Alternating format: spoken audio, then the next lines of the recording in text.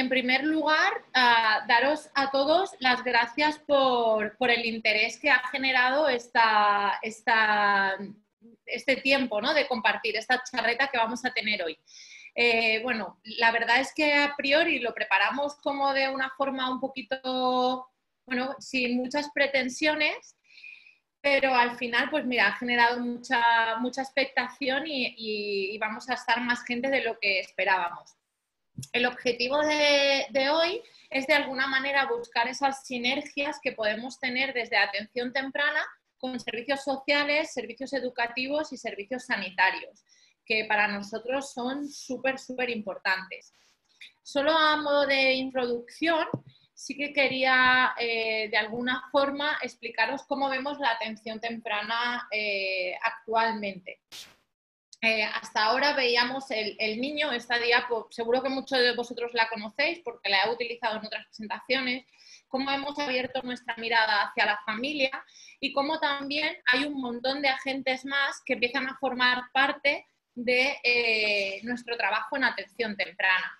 También aquí, por ejemplo, os pongo casa, cole, el parque, la comunidad, pero también aquí entran dentro del cole los sistemas educativos, dentro de la comunidad esos servicios eh, sociales que en muchas ocasiones, en muchas ocasiones las familias necesitan tirar de ellos pues para cuestiones como es el certificado de discapacidad, ley de dependencia, ayuda por hipocargo, etc, etc, etc donde los servicios sociales toman mucha relevancia y eh, también los servicios sanitarios. Mirar esta foto, ¿no? Está hecha en un hospital y es una familia que después va a llegar a un trabajo de, atención temprana y es, muy importante también el rol que ocupan esos servicios sanitarios. Esto siempre os lo presenté como una visión ecológica, ¿no? Esa visión de, de los sistemas. Y cómo nosotros desde atención temprana vemos esos sistemas qué importante es. Esta línea que me habéis hecho aquí en la pantalla, no sé, está, está bien, pero eh, no sé si se puede borrar, ¿curra? ¿No, verdad? Sí, eh, pero la, sí, espérate. Venga, tú sigue, sigue, yo lo intento. ¿Cómo nosotros lo vemos en atención temprana? ¿Y qué es lo que vemos, eh, qué es lo que vemos eh, ¿qué utilizamos para ver esos sistemas? Pues una de las cosas que más en cuenta tenemos es el ecomapa, que habéis hablado, ya, ya seguro que hemos hablado, habéis oído hablar del ecomapa, ¿no? En el ecomapa, de alguna manera, lo que vamos reflejando son los apoyos de la familia, los significativos que son, cuándo pueden generar incomodidades en la familia.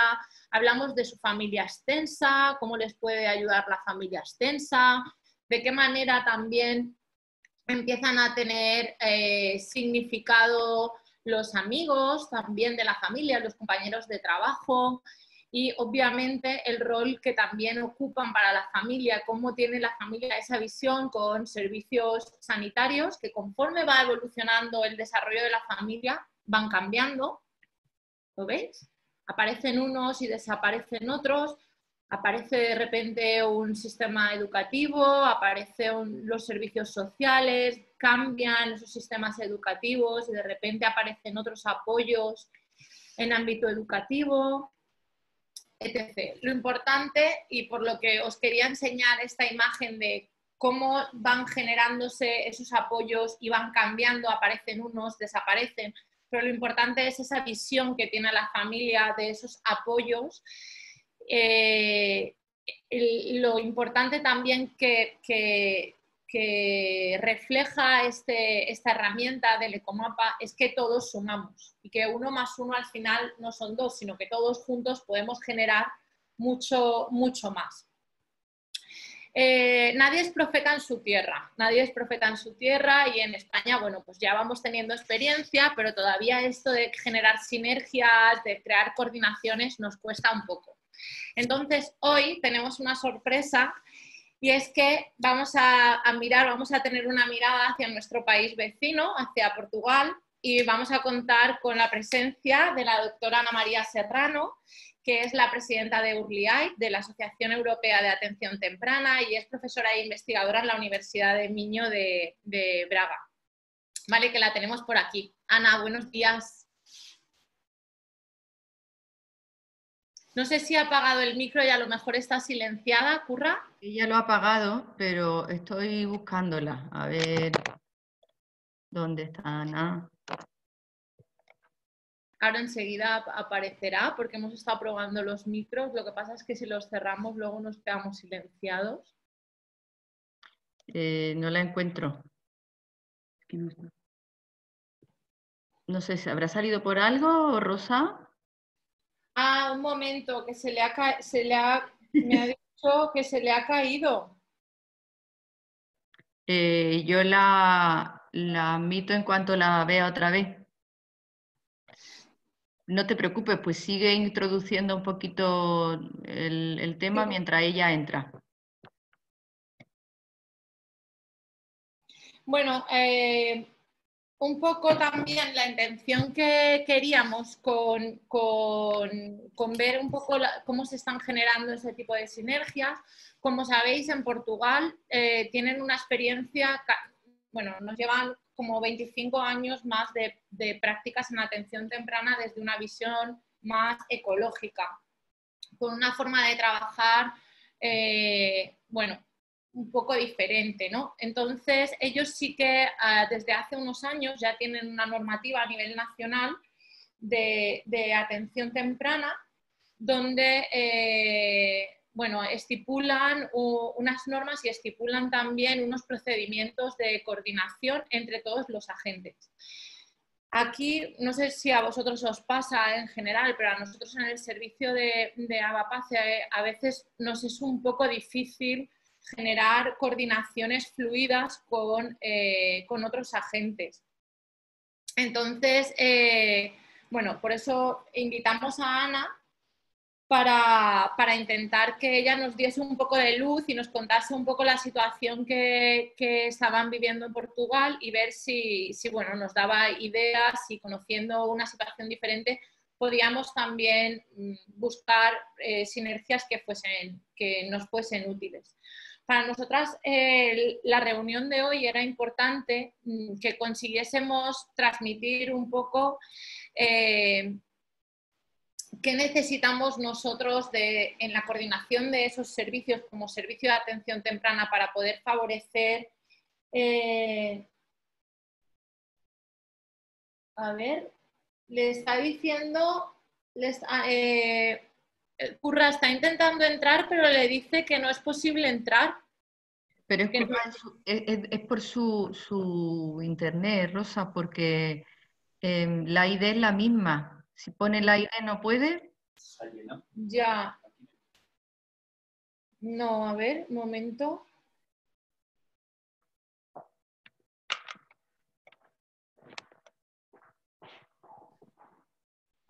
Qué raro. Bueno, si no, también la, os la puedo poner así en el móvil, pero sería un poco raro.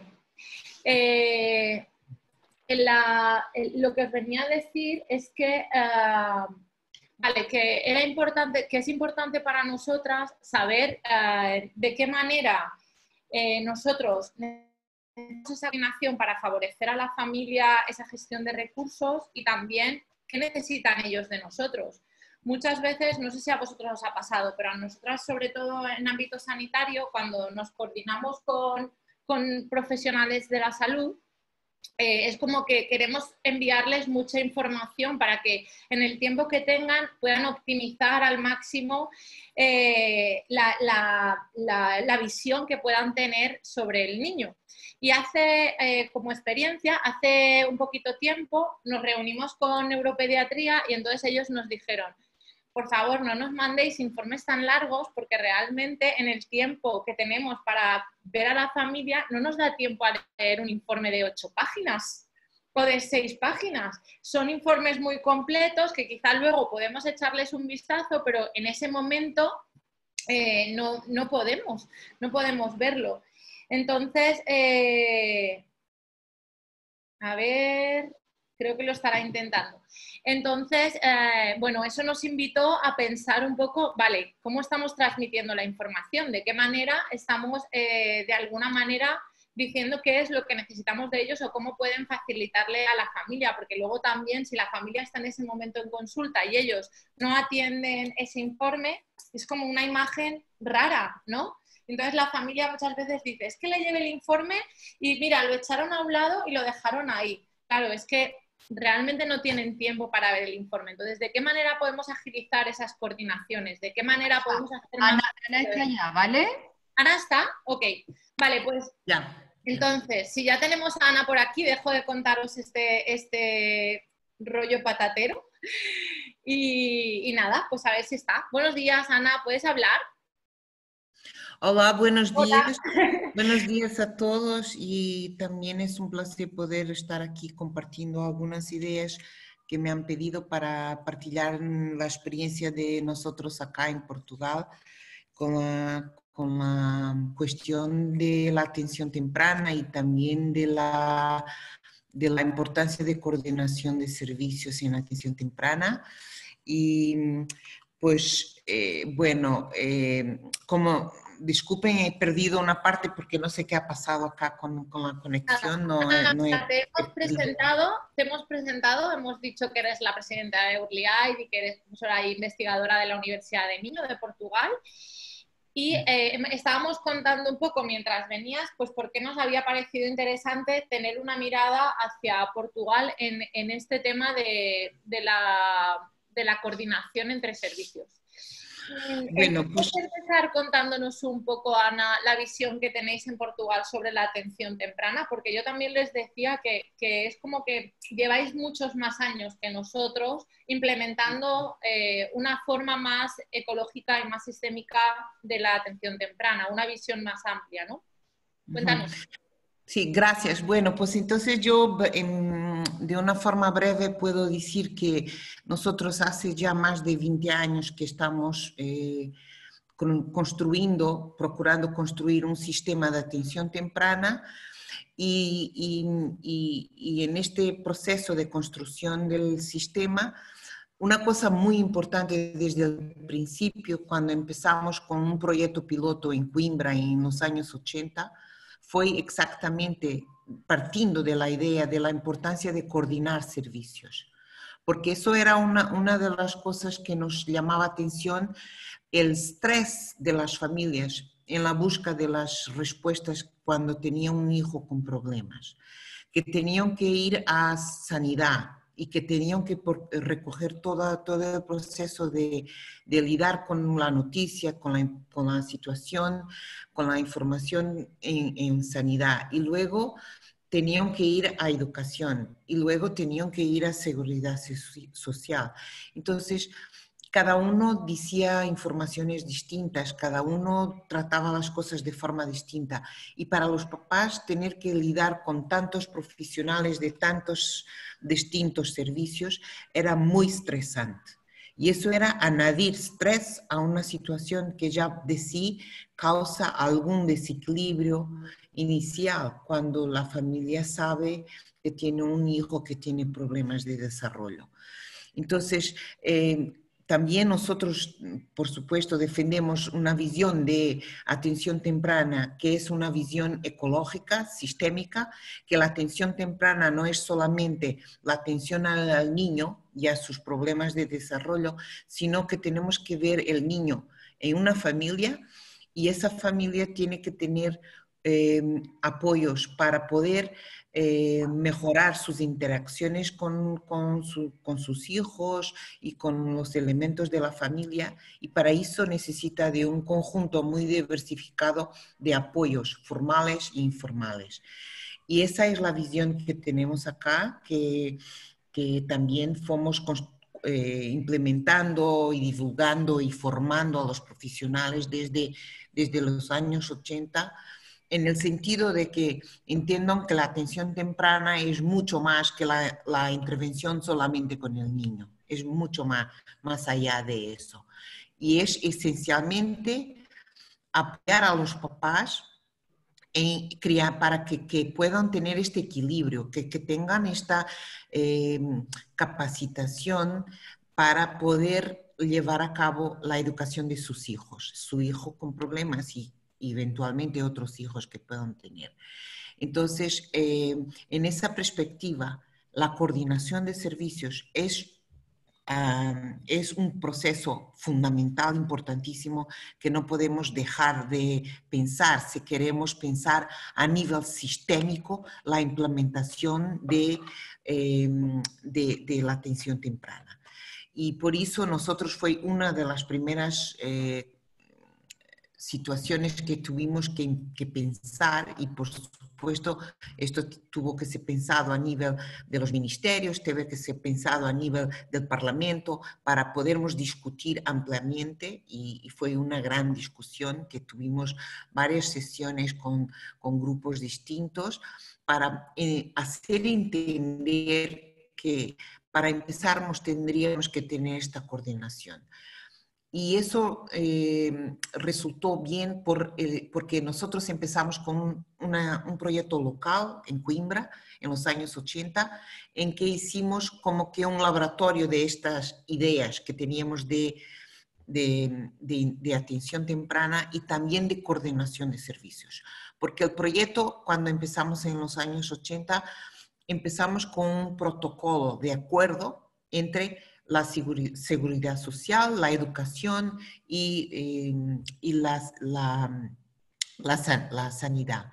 Entonces, eso fue una primera experiencia que resultó muy bien, ¿verdad? Que eso a trabajar eh, de una forma coordinada y haber comunicación entre estos grupos para que luego se pusieran de acuerdo para podermos eh, hablar con la familia de una forma que sean mensajes que, que ya están consensualizadas entre, entre estos grupos. No solo lo que dice respecto a las definiciones de, de lo que es atención temprana, de, de, de, las prácticas centradas en la familia, también la filosofía de cómo hacemos todo esto. Y todo eso fue un proceso que tardó muchos años pero que yo creo que está resultando que tenemos frutos positivos ahora, que tenemos, eh, como a muchos de ustedes ya deben conocer, tenemos una coordinación ahora en la, en la legislación que creó el sistema que coordena a nivel de los ministerios eh, de educación, sanidad y seguridad social, están eh, los representantes de, dos representantes de cada ministerio a nivel nacional. Luego tenemos cinco regiones en Portugal, cada región tiene tres también, eh, tiene tres representantes, uno de cada ministerio por región. Y luego los equipos. Los equipos son constituidos por los equipos locales de atención temprana en las diferentes regiones, son constituidos por eh, profesionales que vienen de, los tres ministerios. Y los equipos trabajan preferencialmente, trabajan en los, eh, el, local de trabajo es el centro de salud eh, de la comunidad pero eh, hace mucho del trabajo en visitas domiciliarias, en apoyos a los centros educativos donde están los niños, etc. Eso es de una forma muy resumida lo que puedo pasar.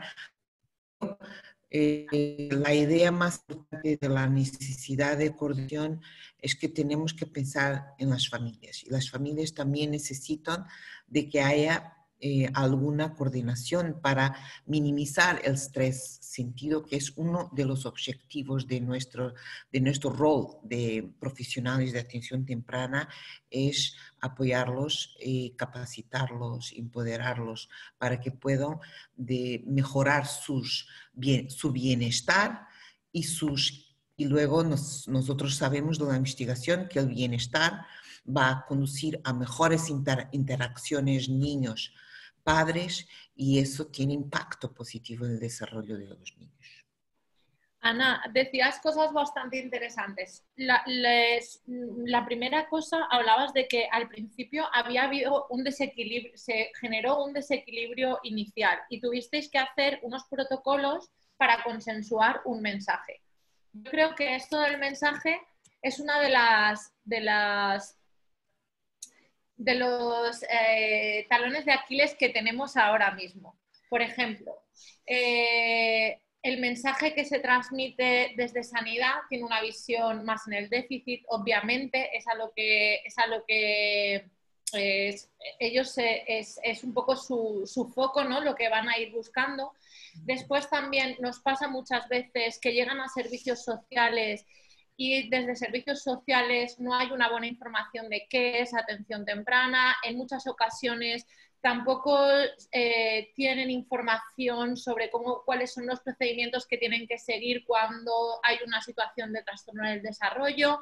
Y luego además también nos pasa, y esto por un feedback que nos dan las familias, es que muchas veces desde educación también eh, se da una visión y se transmite una información más focalizada en el déficit que quizá en las oportunidades que puede generar su hijo dentro del aula o, fuera, ¿no?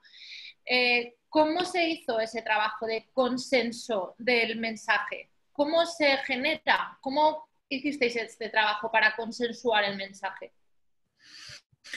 Sí, bueno, eso tardó, tardó mucho también, mucho tiempo, porque implicó, implicó mucha formación, mucha formación, mucha diseminación de, de lo que estábamos haciendo. Y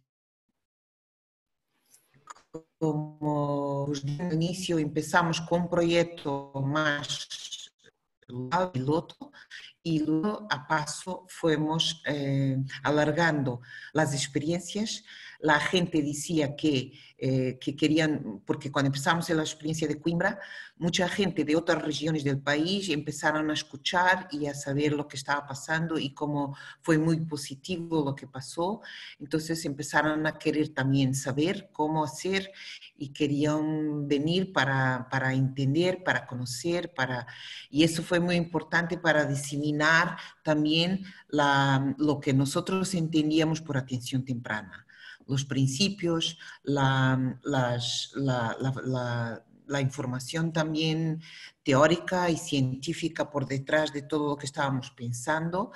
Eh, a par y paso fuimos eh, sintiendo la necesidad de alargar y diseminar esa información a otras regiones. Y eso empezó y después eh, se formó un grupo que empezó a pensar la legislación para que se pudiera alargar esta experiencia a todas las otras regiones. Y al final logramos tener una, una, una eh, tentativa de ley primero que no tenía una fuerza todavía de ley, pero ya tenía recomendaciones cómo organizar servicios, cómo organizar los equipos, cómo empezar la, la, la, partida de, de, información, etcétera, en las diferentes regiones. Eso, mm, eso eh, fue importante porque alargó la experiencia de Coimbra a muchas otras regiones, pero todavía había regiones que no, no lograron implementar los principios de esa primera ley.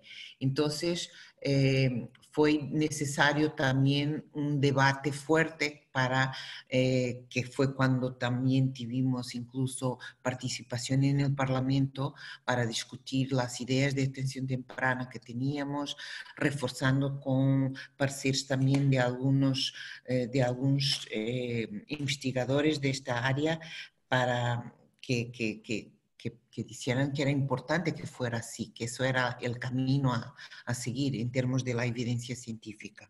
Y entonces, cuando, cuando logramos ese, eh, en ese periodo, mm, fue cuando pudimos eh, finalmente eh, hacer pasar la ley.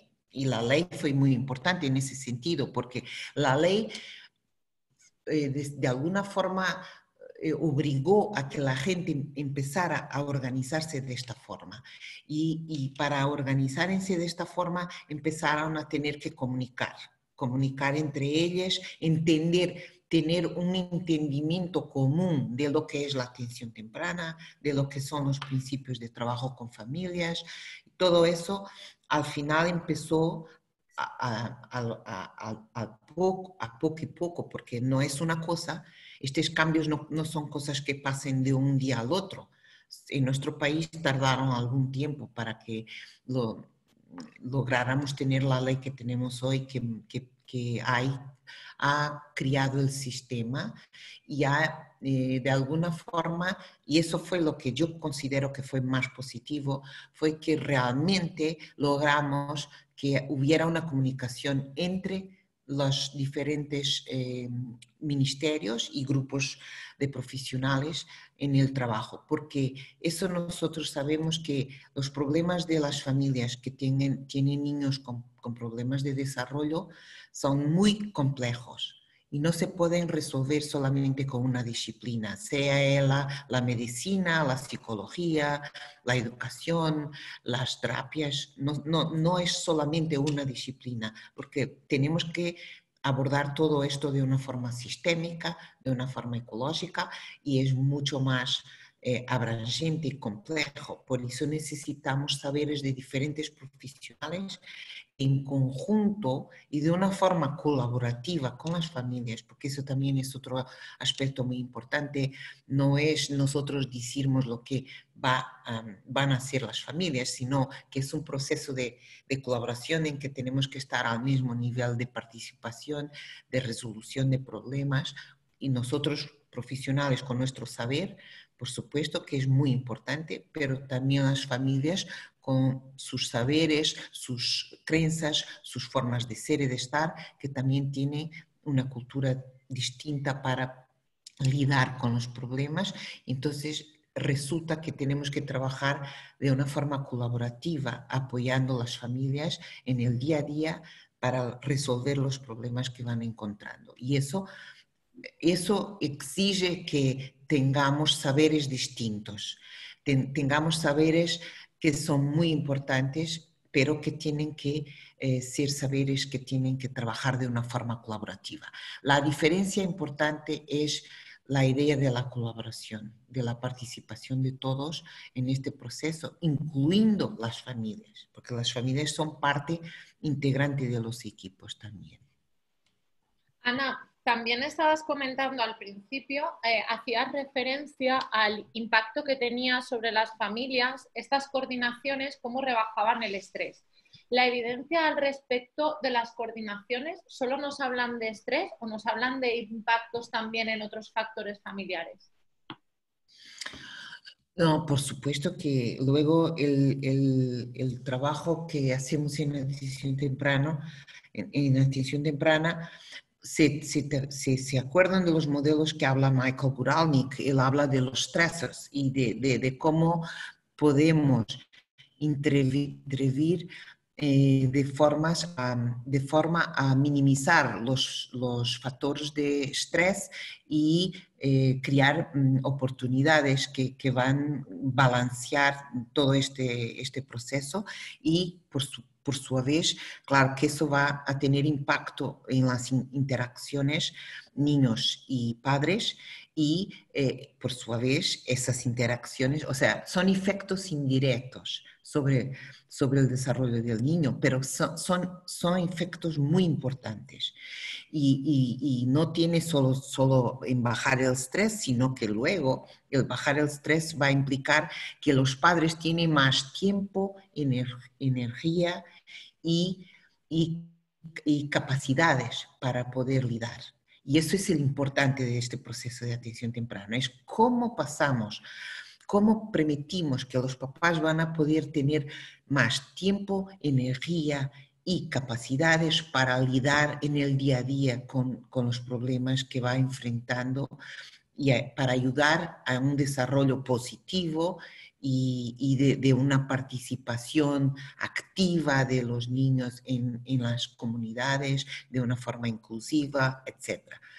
son un, conjunto alargado de aspectos que mejoran, pero mejoran bajo esta perspectiva ecológica de que tenemos que eh, intervenir considerando un conjunto mucho más alargado de factores y para eso tenemos que tener eh, más eh, saberes distintos en los equipos para nos ayudar de una forma coordinada y de colaboración a resolver los problemas que vamos encontrando. Y eso es lo que distingue modelos más tradicionales de atención temprana, que tenían solo un enfoque muy centrado en el niño, muy sin remediar en resolver aspectos específicos del funcionamiento del niño y que hoy en día nosotros defendemos que tiene que ser una visión mucho más alargada, pero una visión que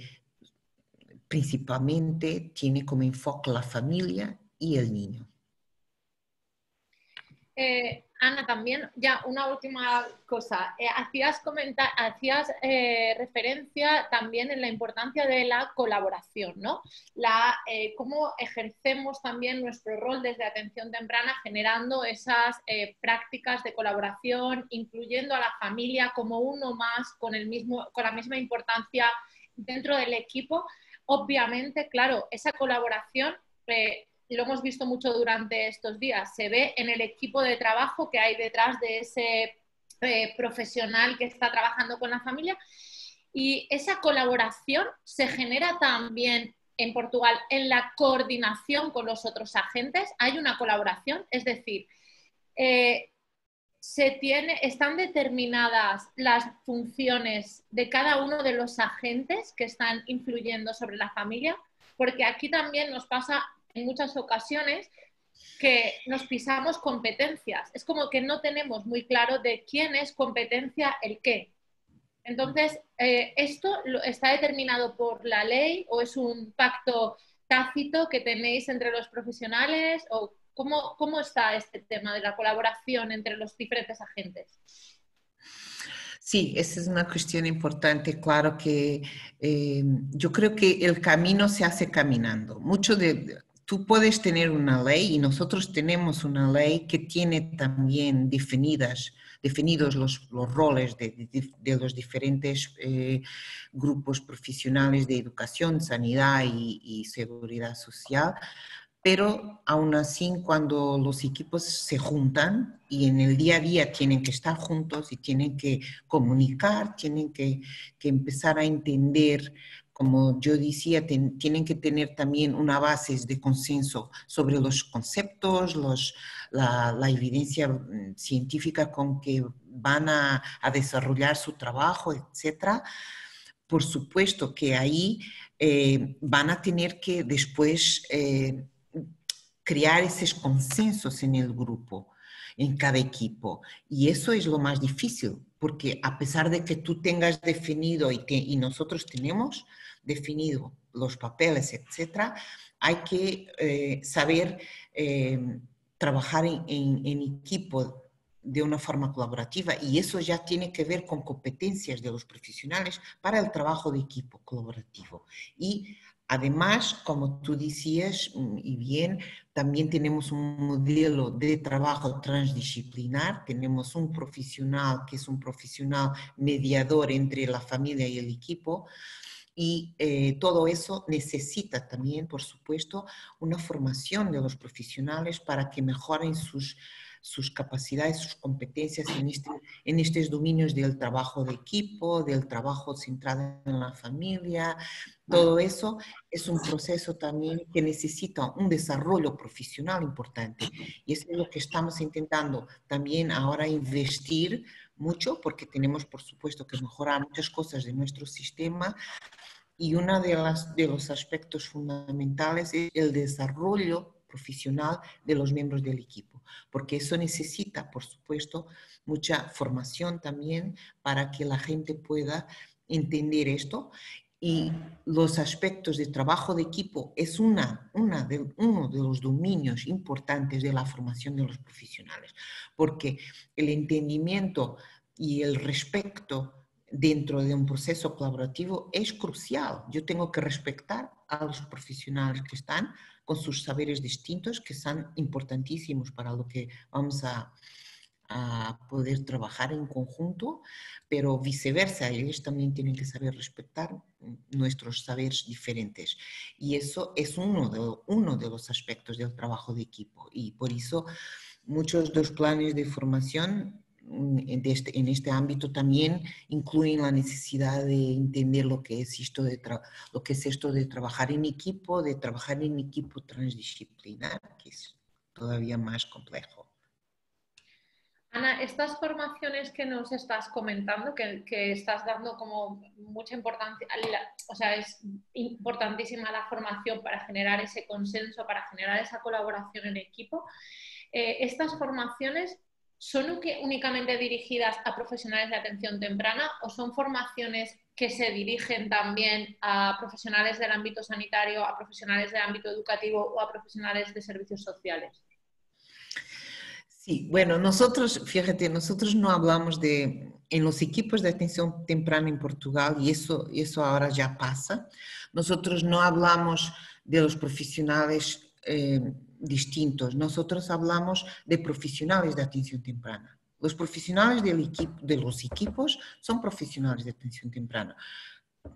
Punto. Y ahí hay profesionales que son médicos, son enfermeros, son psicólogos, son terapeutas, pero ellos, además de serem profesionales eh, específicos, de áreas disciplinares específicas, ellos son profesionales de atención temprana. Y eso es lo que, lo que uno tiene que ir construyendo y, y desarrollando en términos profesionales eh, esta idea de que para ser profesional de atención temprana tienes que ser algo más que solo un profesional de, de área específica.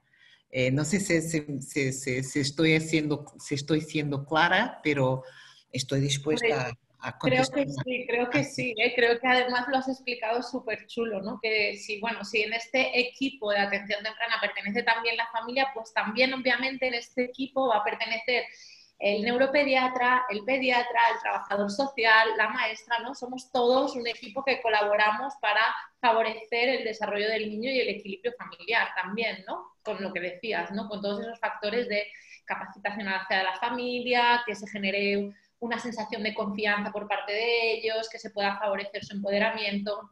Y bueno, Esto, que se mejore su calidad de vida, ¿no? Que si está por aquí Pau estará todo el rato diciendo en calidad de vida, en calidad de vida, ¿no? Y claro, por supuesto, calidad de vida, claro, por supuesto, es un concepto importante también.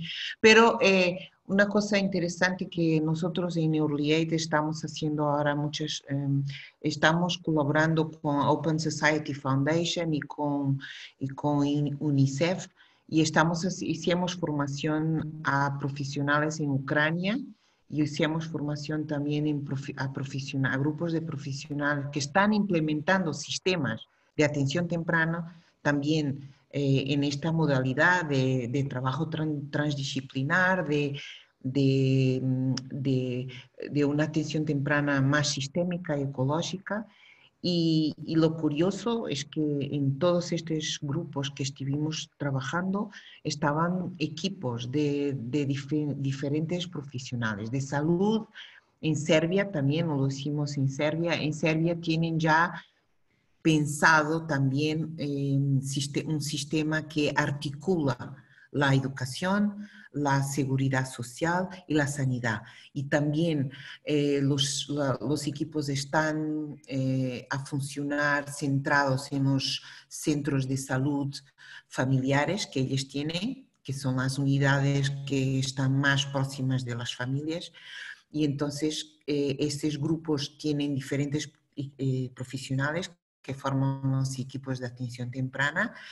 Y ese, en esos equipos, curiosamente, por ejemplo, en Portugal, los médicos que están en los, los, equipos son médicos de familia, son médicos de medicina general que están ligados a los equipos. Y, lo, y los pediatras, porque los pediatras están ya a otro nivel de, de salud más especializada y si, es necesario, por supuesto, están encaminadas las familias para estos profesionales. Pero, en, eh, por ejemplo, en Serbia, los, estas unidades de, salud familiar son eh, pediatras y por eso en la formación estuvimos muchos pediatras. Y, los pediatras también eh, que estaban, estuvieron muy involucrados y muy Em, muy eh, metidos en todo este proceso de trabajo de equipo con las familias. Interesante. Invitaremos a Nesana también para que nos explique esa coordinación que puede ser súper chula. Ana, muchas gracias por este rato. Te voy a, te voy a leer algunas eh, cuestiones que nos dejaban por el chat, ¿vale? Algunas preguntas que hacían. Mira, Almudena de Ceviat eh, Motilla nos, nos preguntaba el rango de edad de la atención temprana en Portugal y además también cómo se realizan las derivaciones a atención temprana que también preguntaban si la atención temprana se lleva igual en las cinco regiones que comentabas de, Portugal o había diferentes eh, modalidades de trabajar o diferentes normativas por regiones o... bueno, la, derivación es muy importante. Estamos intentando, ese es otro aspecto que queremos también mejorar, porque, por ejemplo, queremos tener un, en este momento no tenemos eh, un instrumento único, universal, que se pueda utilizar. Y yo creo que ese es, un, aspecto importante que, estamos debatiendo y que queremos tener eh, instrumentos universales que, que, se usen en el sistema para podermos eh, identificar a los niños. Y yo creo que no tener un instrumento y haber una variabilidad enorme de, de instrumentos que se utilizan puede mm, dejar que, que no se escapen niños y eso es importante y ya por los relatorios de acompañamiento que tenemos del sistema, esa es una cosa que tenemos que mejorar también, pero la derivación se hace a partir de, de cualquier persona puede hacer una derivación. Puede ser un padre, puede ser eh, una educadora de infancia, puede ser, cualquier persona puede hacerlo, pero en la ley mm, el rol fundamental de la derivación está con la sanidad, porque la sanidad sigue las familias y los niños desde mucho antes, desde el prenatal, ¿no?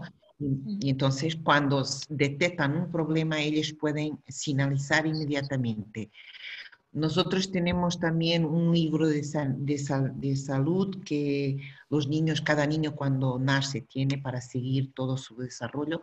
Y en ese libro ahora también hay una hoja, una página que, que es del Sistema Nacional de Atención Temprana. Y si el niño es referenciado al sistema, inmediatamente esa hoja también es eh, rellenada con información importante sobre sobre referencia, la, la, derivación al, al, sistema.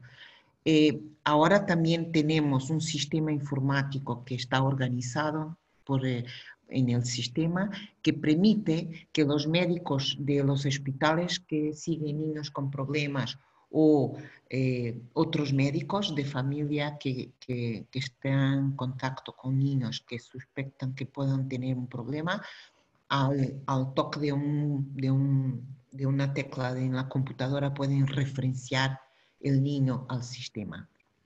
Y luego, claro, después los papás pueden también decidir si quieren o no quieren servicios, porque ese es un derecho que les asiste, pero eh, los niños pueden ser referenciados de, de, formas muy distintas y se están creando mecanismos que faciliten la derivación y la verdad es que los relatorios últimos muestran que hay un incremento increíble de los niños cada año que llegan a los sistemas nacional y eso es un, un señal positivo que están siendo identificados y, y que podemos... Sí, Ana, la, edad de atención temprana en Portugal? Ah, la, edad, la edad es de los 0 a los 6, 6 años es la, la edad final de los cinco, ¿no?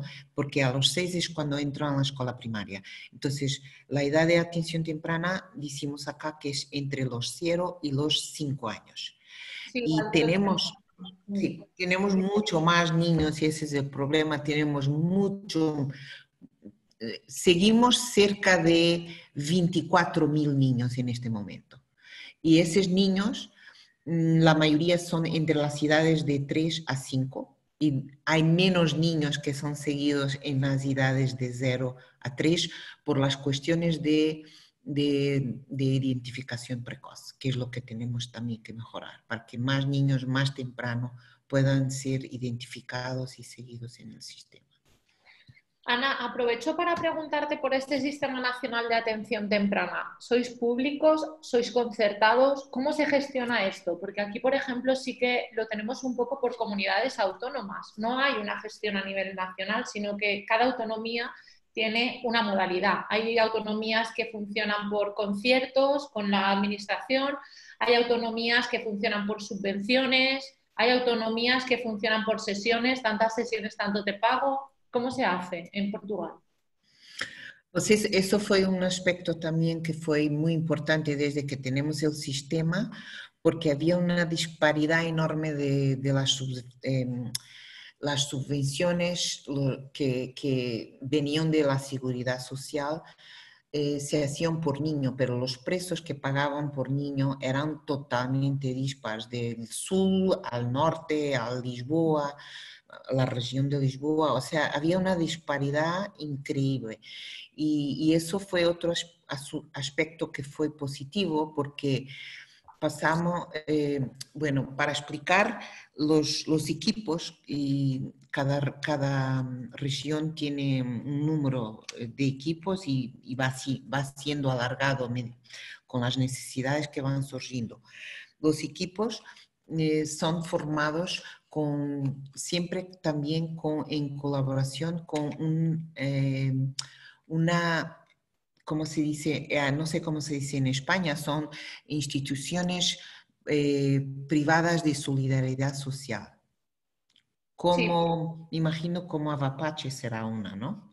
sí, como, una, asociación sin ánimo de lucro que da servicios sociales ¿no? y genera un servicio de atención temprana. Exacto. Entonces, cada equipo tiene que tener una, una institución de estas porque estas instituciones eran las que estaban siendo financiadas por seguridad social. Y ellas, eh, cada equipo tiene siempre una institución que hace parte y eh, la seguridad social luego eh, paga por niño, por cada niño un montante al, al equipo. Y el, el, dinero va a través de la seguridad social para esta, es un acuerdo que está un protocolo, un acuerdo que hay entre la seguridad social y esta institución que hace parte del equipo. Porque luego los profesionales como terapeutas muchas veces vienen de estos equipos que ya tienen alguna experiencia de trabajo en áreas distintas como parálisis, parálisis cerebral o, o, deficiencia intelectual, lo que sea, pero tienen también profesionales que hacen parte de los equipos a través de estos de estas organizaciones y es cómo financian eh, los equipos. Los equipos son financiados a través de la seguridad social y luego mm, los otros ministerios como salud y educación son los recursos humanos que ellos tienen ya eh, alocados a los centros de salud o a los jardines de infancia de la escuela de la red pública o privada. Pero Claro, entiendo que hay una optimización de los servicios, ¿no, Ana? La gestión económica está siendo por parte de servicios sociales, la derivación está, y el seguimiento está siendo por parte de sanidad y después también hay una coordinación con educación para no solapar servicios, ¿no? Vos, atención temprana presta los servicios en infantil y en primaria la gestión de los apoyos parte de educación. Entiendo que es un poco así, ¿no? Se están optimizando los recursos, no estamos duplicando servicios de todos los sitios. Esto pasa mucho aquí en España. Tenemos una duplicidad de servicios increíble. Y luego también otra cosa que has dicho súper interesante, Ana, que seguro que hay mucha gente que está diciendo, ostras, el pago por niño. Qué interesante, porque imagínate, aquí hay comunidades autónomas que el pago lo tienen por sesiones, con lo cual qué contradictorio es esto de menos es más.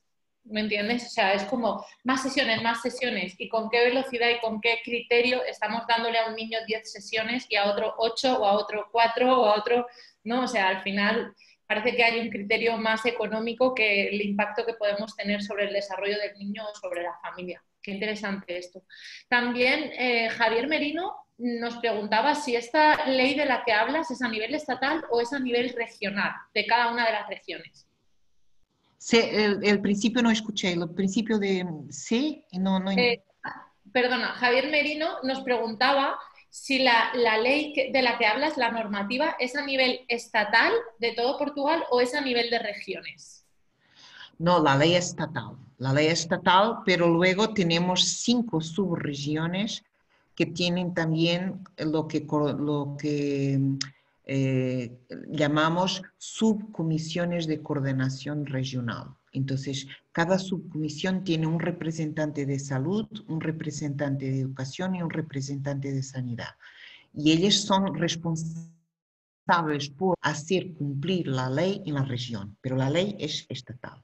La ley habla de, si quieres puedo hacerte llegar la ley y puedes pasar la ley a, está en portugués, pero yo creo que pueden entenderla y pueden pasar a quien esté interesado. Por supuesto que eh, fíjate, yo como estoy, tengo alguna experiencia de trabajar con otros países en, en, en Early Aid, como, como, referí que estamos ahora en Early Aid trabajando con los países de Balkans y estamos trabajando con algunos países que están ya implementando eh, este modelo de esta, esta, forma de funcionar de atención temprana, nominadamente también Eslovaquia. Eslovaquia está haciendo un trabajo muy, muy, muy eh, muy eh, sólido y muy importante en esta materia y además ahora uno de nuestros compañeros con quien trabajamos, que es de una organización, de una ONG de, de, Eslovaquia, mm, fue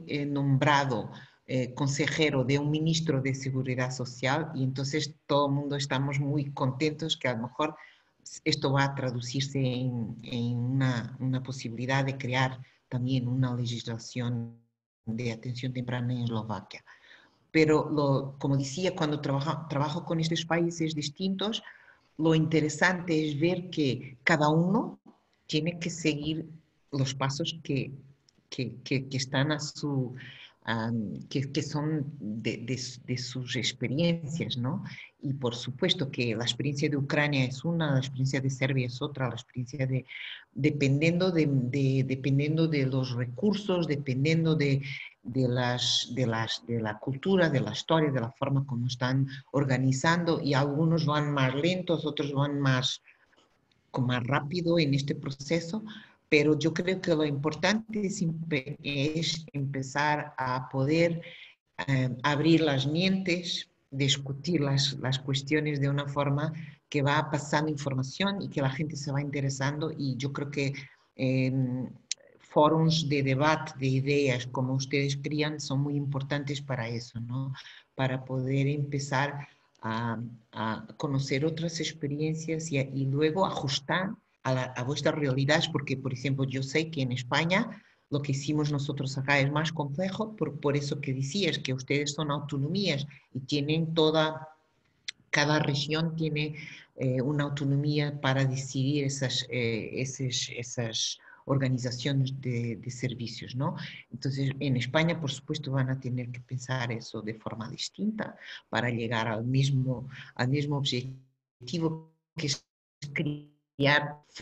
atención temprana que sean sistémicas y ecológicas y que defiendan los derechos de las familias y la calidad de vida de las familias también. Ana, muchas gracias. Muchas gracias por el tiempo que has estado compartiendo con, con nosotros. Muchas gracias por, por, por tus consejos. En el chat, de hecho, Marga está también por aquí con nosotros y también te da las gracias por tus aportaciones y te dice ah, Marga, que es referente Marga, Marga también está con nosotras en Aid, ella sabe lo que estoy hablando. Y bueno, que, muchísimas gracias, muchísimas gracias, que sois un ejemplo de verdad a Portugal y que bueno, ojalá que también en España vayamos un poco siguiendo, siguiendo esos pasos y que vayamos también teniendo una visión hacia lo que está pasando también en el resto de países, que como nos decías, en Europa hay mucho movimiento también y se está generando una transformación de atención temprana mucho más respetuosa con, la familia y también con unos resultados de efectividad súper potentes, que también son mucho, muy importantes. Y a, propósito, solo para, para, terminar, decir, si quieren, en la página de Early encuentran un relatorio que, del trabajo que está, que está siendo hecho en, en un proyecto que tenemos, Agora, que es un proyecto también de de ESPD, de European um, Service Providers for People with Disabilities, y que, que, es un proyecto que estamos intentando también implementar y discutir todas estas cuestiones de atención temprana sistémica y, y, y, el relatorio ha sido publicado recién y tiene, es muy interesante, yo creo que a quien les interesa esto pueden em, bajar el relatorio y leer el relatorio del proyecto Ágora, porque es, eh, cinco de también europeos, Polonia, Hungría, Eslovaquia, Bulgaria y Rumania. Y entonces estos países ya están intentando eh, empezar, también como dice Serbia, Ucrania, Georgia, o sea, un conjunto muy alargado de países eh, que, que, que, es interesante ver que son países que están intentando ya llevar a cabo cambios en la, en la atención temprana, para una atención temprana más de, basada en prácticas recomendadas. Gracias, Ana. Marga nos ha compartido el enlace de este documento del que habla Ana, lo tenéis en el chat, que si le pincháis enseguida os lo podéis descargar. Eh, yo creo que por nuestra parte nada más. Desde el equipo de, de Abapace, pues os agradecemos un montón el interés que hayáis tenido. Muchísimas gracias, muchísimas gracias a equipo SIDI, a, a, Curra y a Pedro que nos han dejado Zoom, porque además esperábamos una audiencia que quizá no nos iba no nos iba a, soportar. Eh, nada, mm, que seguimos trabajando y seguimos intentando mejorar. También gracias a, Manuel, al Tesi de que también se está pegando un súper curro estos días y que también ha estado ahí alerta del chat y, diciéndonos. Y bueno, que efectivamente mm, todos juntos podemos generar mucho más y que tenemos todavía mucho trabajo por hacer, pero bueno, que, que, sabemos que no es tan difícil, que Portugal lo tenemos aquí al lado y que si ellos lo han conseguido, pues nosotros seguro que también vamos a ir dando esos, esos pasitos y, mejorando y, poco a poco ir también unificando ¿no? lo que es atención temprana. Muchas gracias a todos por, por, haber asistido y nada, nos seguimos viendo estos días y que felicidades a todos los que ya estáis en fase 1, a los que estamos todavía en fase 0, ánimo, que quizá la semana que viene ya estamos en fase 1. Y bueno, nada, que disfrutéis de esos pequeños paseos que podemos dar ya todos, afortunadamente. Chao. Chao, gracias también. Y mm, fue un gusto estar con todos. Gracias, Ana.